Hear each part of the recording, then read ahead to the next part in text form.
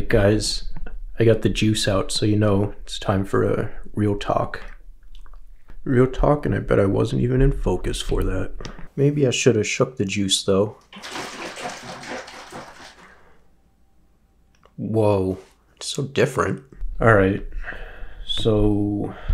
A couple of you guys, or maybe it was just one, during my live stream asked me about my uh, BMW M2, like where it is and what's going on with it and all that. And uh, so for for anyone that doesn't know, on September second, someone sideswiped my car. Uh, it was completely their fault and, and all that. Uh, and I don't have collision on the car because I own it.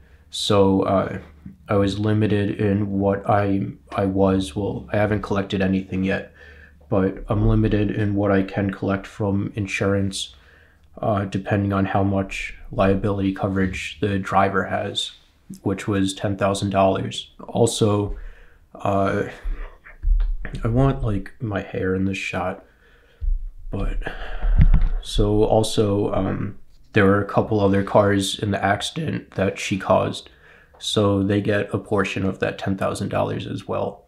So I'm assuming based on the damages to their car and what I believe like a mechanic would charge to fix their cars, I'd probably get six to seven thousand dollars out of that. And I know I was stupid not having collision. I thought like I was saving money and like I seriously drive maybe like one or two miles a day in the city with an average speed of like 15, 17 miles an hour.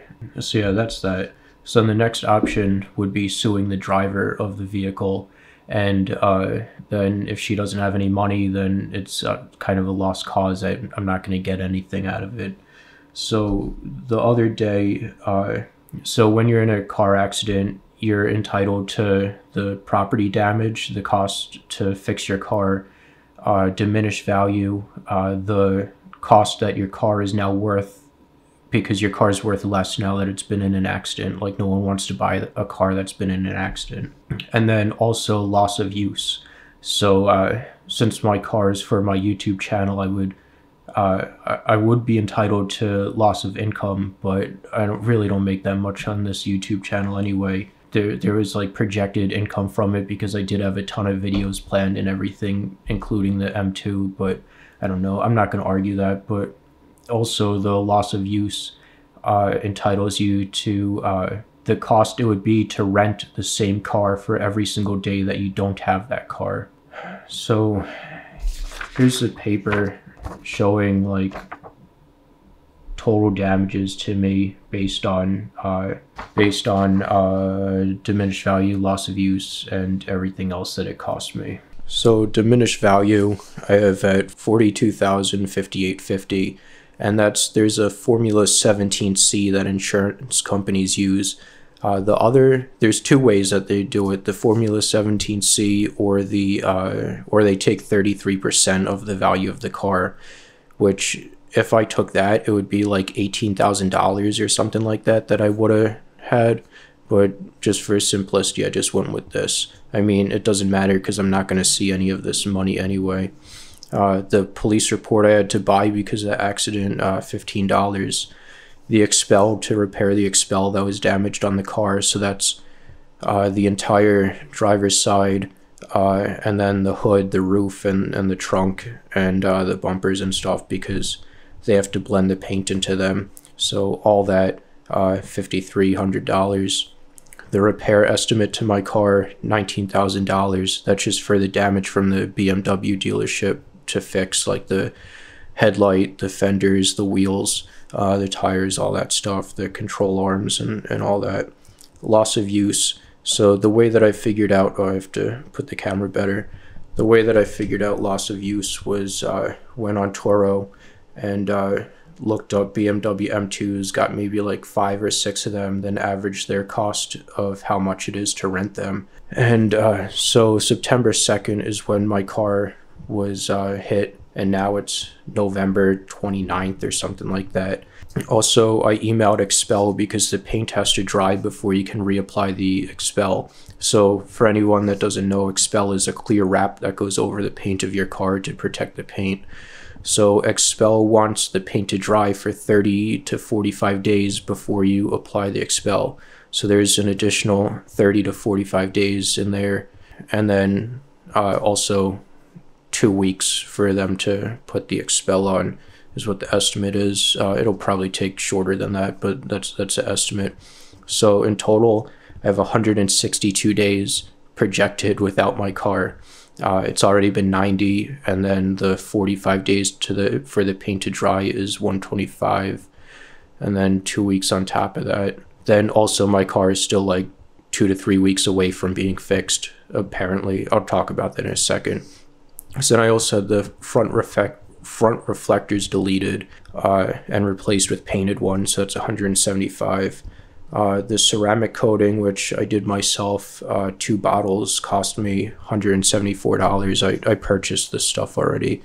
Uh, the filing fee for the court case is $181. The fee that I was charged from Coinbase to sell the Ethereum that I sold. So, yeah, in total, uh, almost $55,000 I would be entitled to. Now, like I said, I'm not going to see any of that. The funny thing about collision, if I did have collision on my car, I could have sued the insurance company for all this money. So all the money that I thought I was saving from from not having collision, this judgment would have paid for collision for like 10 years if I if I had collision on my car because like I said I could sue the insurance company. So anyway, like uh mid either beginning or mid October is when I put a deposit down on my card at the BMW dealership to get it fixed because I didn't want it just sitting there waiting for lawsuits to go through and everything because that's kind of an inconvenience on the BMW dealership. Like uh, they just want cars out of there. They just want to fix them and get them out of there and, and make money and all that. So i didn't i didn't want to do that to them. So and also like i wanted my car back too and, and all that so i put a deposit down. It was either beginning or middle of october. I have the receipt but it doesn't really matter. And now it's at, at almost december november 29th so it's been like one and a half to two months they've had my car already. Uh, I talked to them two or three weeks ago, and they're like, "Oh, it'll be done in another two or three weeks." Uh, so then I saw them uh, a week or two ago, and they're like, "Oh yeah, it'll still be another two to three weeks." So I don't know when it's gonna get done. I was gonna go there and ask them if I could see my car today, just because like I miss it, but I didn't want them to think like I was uh, going there to look at it to like uh, like eavesdrop or something like that. I don't know. That just went through my mind, but I do really like miss my car and all that. So a couple days ago, and and I was talking to a lawyer about all this, but uh, he just stopped talking to me. Like he stopped answering my emails and everything. So that's one of the other reasons that I decided to go with this small claims case instead of a full uh, lawsuit against the driver because the driver probably doesn't even have I guess it would be like forty nine thousand dollars or something to to pay me. I doubt she even has that money. So I, so I think it would just be more extra expenses on my part, paying for a lawyer and all that to do a, a regular lawsuit. And from what uh, the magistrate and everyone told me, I can't I can't file a regular lawsuit on my own. So I'm kind of stuck doing a a small claim, small claims case. The lawyer that I was actually talking to, it took me like two weeks of calling like 10 15 20 lawyers before someone would even like take my case or or i mean someone would even talk to me because like they know that there's no money in it from that for them because uh like the driver probably doesn't have any of this money and stuff which like it sucks. You should be able to do an asset check before you sue someone so you could like better plan things out. So uh lost my train of thought. So yeah a couple days ago i ended up filing this small claims case and they said in like four to six weeks i'll uh, get a trial and, and all that like it takes time because they have to like mail the letter via certified mail or some stuff like that so it's gonna take time before i can get a court case so I did end up buying awesome new parts for the M2 as well. Uh, I did, I think I talked about it in, in my Instagram posts and uh, on Twitter or something. So I'm going to show you guys uh, some of the cool stuff that I got now. So the first cool thing that I got is coilovers for the car. So these will lower the car and also it has uh, adjustable. So the height is fully adjustable. You just twist the shock here and it'll raise and lower the car up and down. Then it has compression and rebound dampening uh, adjustments. So this would adjust how uh, how stiff it is uh, pushing in, and then rebound will adjust how stiff it is or uh, how forceful it is returning to stock position. So these are the rear ones, these are the, the front ones. This is my first time having coilovers on my car, so I'm like super excited for them. Uh, my Saab 9.3 just has lowering springs and uh, different shocks in it, like a little bit stiffer shocks. But this, yeah, this this is yeah exciting so also what's exciting i did end up getting four snow tires for the car so it only snowed once here and the farmer's almanac says that it's not going to snow that much this year so uh, hopefully that's not the case, but it should be good to take it out in the snow and everything. It's going to be a blast. So these are the rear tires and just look at it unlike my hand how how wide this is like I guess it's like over a foot uh over a foot wide and then these ones are about 10 inches wide so these tires back here are the stock tires that are 245 and 265. So uh, it's it's one 265 on top and one 245 on the bottom. So if we repeat the same thing and do one rear and one front here, you can see, uh, yeah, there's quite a bit extra uh, extra wideness going on with the new tires, and I love that.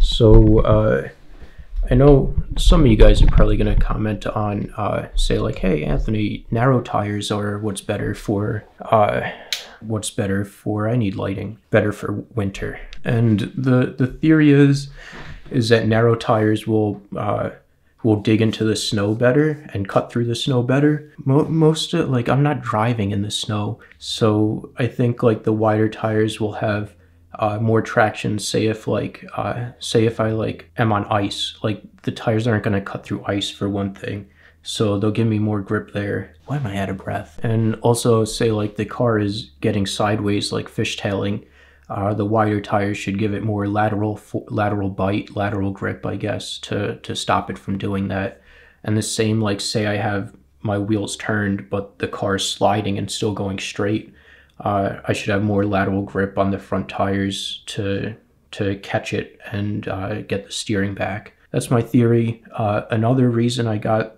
them so wide uh, is because the tires that I want to run on the car are like normally I want to move over to a 265, 285 setup. So when I get the suspension installed and dialed in and everything, uh, that's going to be done. It looks like probably January is when that'll start happening. Uh, so the snow tires are going to be on the car, and if I have the right size snow tires as what I'm running regularly, then uh, then yeah, it'll it'll be good.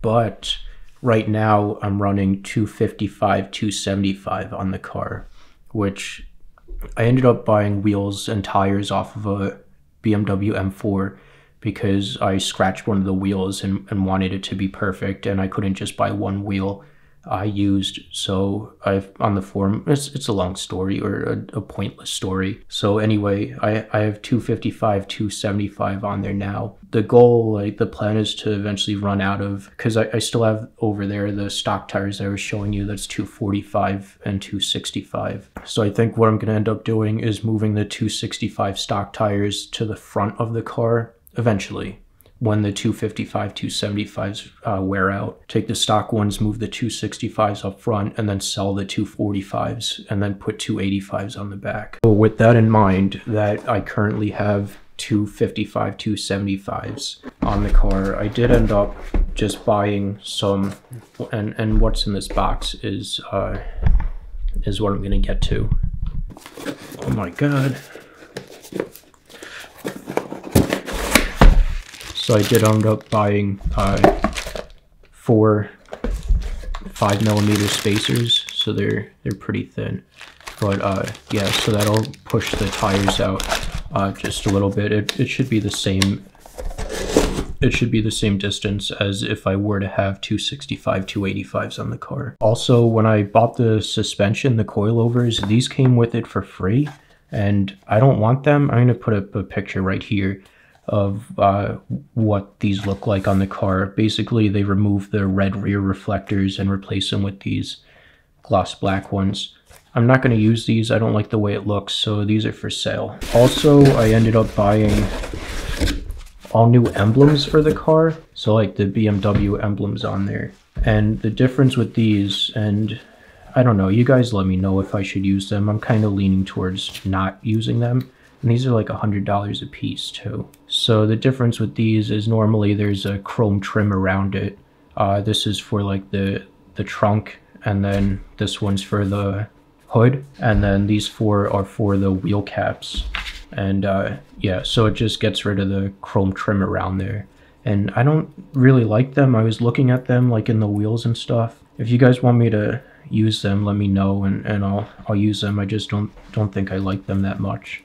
So these are probably going to be for sale soon as well. So that's not even it. There's I guess about three more things to talk about that I bought. So right up here, I don't have them yet. I ordered all this stuff on Black Friday because there was gigantic sale that I, I was going to buy all this stuff anyway. So I figured I'd buy it now since, uh, so these Dinan sway bars, front and rear new sway bars, and uh, they'll, uh, I guess I can get complicated. So they'll stiffen up the suspension, but not, not in like making the spring stiffer. Basically like, so if you have a stiffer rear sway bar, it'll make the car fishtail more and that's not what I want. I want it to be like a grip car, like a track car. So so a rear sway bar will work like you'll stiffen up the back suspension so then when all the power transfers to the back, uh, it won't squish down the suspension and everything. So then uh, so all the power will go directly to the wheels and then that'll make the wheels spin if you have enough power to do that. Uh, and then that'll make it like spin tires means you could do like fishtails and stuff. The reverse of that is having a looser or a, a softer rear sway bar. And, and, these Dinan ones are adjustable. So you can dial in exactly what you want. Uh, so the reverse of that is having a softer one. So then when you put the power down, it will, or when you nail the gas or whatever, it'll transfer the weight to the back and it will compress the suspension and uh, keep the tires from spinning. So this will be better for acceleration. And then like, uh, say you're coming into a turn and uh, taking accelerating out of the turn, it'll put more power down to there and, and increase your acceleration. The opposite of that is true for the front sway bar. So a stiffer front sway bar, I'm just gonna gloss over this real quick, but, but a thicker and stiffer front sway bar will give you more direct steering and uh, yeah, whatever. So yeah, that's that. I also got the Wagner Competition 2 Evo, Evo Competition 2 intercooler right up here. So this is a tube and fin intercooler. There's there's two differences. There's bar and plate and tube and fin. The bar and plate ones are heavier and they're supposed to dissipate dissipate heat better because uh, there's more surface, not surface area, but thermal thermal mass. So the same way like a computer heatsink, uh, an air-cooled computer heatsink or, or a radiator, the bigger the radiator or the bigger the heatsink, the the more heat is dispersed away from the, the CPU. So I didn't get the barn plate one, I got the tube and fin one because it's lighter. It's like 15, 20 pounds lighter or something than, like that. And uh, I don't, it, it, it's good enough for what I'm doing. Let's just put it that way. It, it's also the, the most expensive one. It's $900. And with the sale, I got $135 off of that. So lastly, I did get a tune for the car and it's the boot mode tune. So this will let me, uh, if I go to a tuner with a dyno and everything, they'll be able to tune the car for me. But it comes with a bunch of OTS, like off the shelf tunes it is. So uh, just pre pre tunes that other tuners have made and stuff. So there's a stage one, which I don't know how much horsepower it'll make. I, I asked for graphs and whatever, and no one has them. The stage two uh, will give you 400 horsepower at the wheels. I think it's like 450 or 475 at torque at the wheels. So I'll have access to both of those tunes and, and all the other tunes that are available. So yeah, the car the car from the factory makes like 330 horsepower at the wheels. So yeah, we're looking at 70 more horsepower and like well over 100 more foot-pounds of torque. So yeah, all this stuff, the tires the BMW dealership is going to put on the car when it's done. Uh, then the coilovers and the intercooler and uh, whatever else I mentioned. I don't think I'm so. And then when the XPEL gets done, because the XPEL is getting done by a different mechanic, the same mechanic that's doing the XPEL is doing the sway bars and coilovers and and all that stuff. And, and the intercooler that's probably going to happen in January or so. So there it is. That's everything going on with my M2 right now. I miss my car so much. And uh, I don't know. It, it's kind of cool that I sold more Ethereum when it was like $240 and then now it's like 120 or 110 or so so when this lawsuit does go through if it's the prices are the same i could buy back more ethereum than i ended up selling but also with that having to sell this year and everything like it pushed me up into a higher tax bracket. So i do have to pay more taxes than i was planning on for this year and all that. But that's the end of this video. Uh, take care guys. Thank you and goodbye